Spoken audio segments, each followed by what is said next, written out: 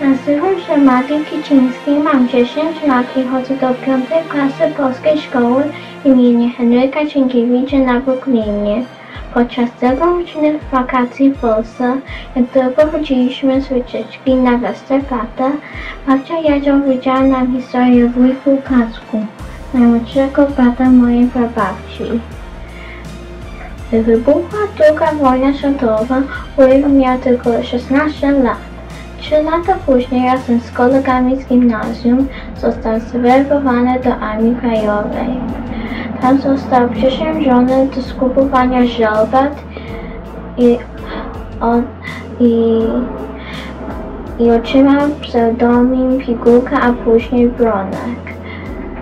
Tę opaskę dostałem od babci jako cenną pamiątkę po wujku. Wujek będąc w Armii Krajowej naraził nie tylko swoje życie, ale też bezpieczeństwo całej swojej rodziny. Wykonywał tam przeróżne zadania.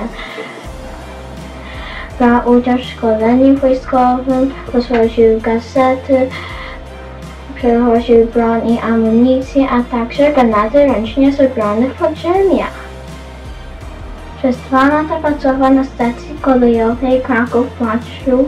Przez stację przejeżdżały transporty wojsk niemiecki i włoski, a także z więźniami do Oświęcimia. Zbierał tam informacje o ruchu kolejowym, którym później był wykorzystany w walce i z wrogiem.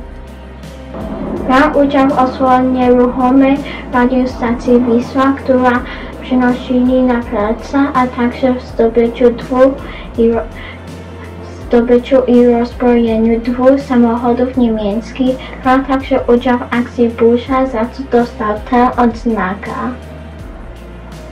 Po zakończeniu wojny wujek trafił na rok do więzienia. Oskarżono go o szpiegostwo i działalność antypaństwową.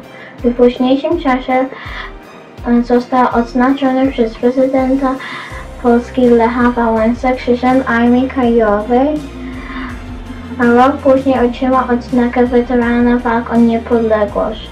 Należał też do koła żołnierzy Armii Krajowej.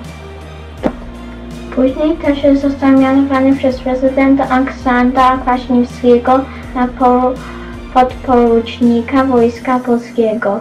Nigdy nie myślałem, że w naszej rodzinie był taki bohater. Szkoda, że nie miałam okazji go poznać. Jeśli chcielibyście obejrzeć te wyjątkowe pamiątki, to zapraszam do naszej polskiej szkoły na Brooklynie.